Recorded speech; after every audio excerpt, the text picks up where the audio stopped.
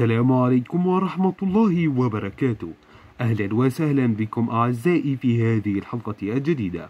والتي أردنا بإذن الله سبحانه وتعالى أن نوضح كم هي مدة فقس بيض الزبرة.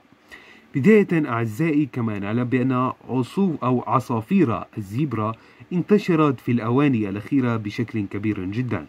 وبدأ الناس يتجهون إلى الإقبال عليها رغم بأنها نوعا ما تكون متنوعة في العديد من الأمور عن باقي العصافير فمدة فقس بيض الزبرة حوالي أو مدة احتضانه لمدة تتراوح ما بين أربعة عشرة يوما إلى ستة عشرة يوما.